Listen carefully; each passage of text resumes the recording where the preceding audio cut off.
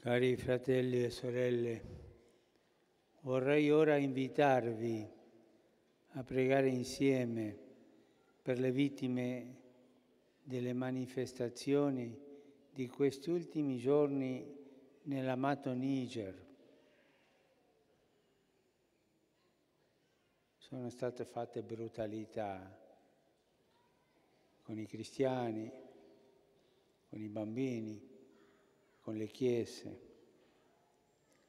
Invochiamo dal Signore il dono della riconciliazione e della pace, perché mai il sentimento religioso diventi occasione di violenza, di sopraffazione e di distruzione. Non si può fare la guerra in nome di Dio.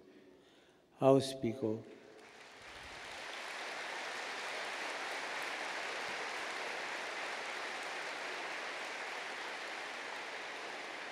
Auspico che quanto prima si possa ristabilire un clima di rispetto reciproco e di pacifica convivenza per il bene di tutti.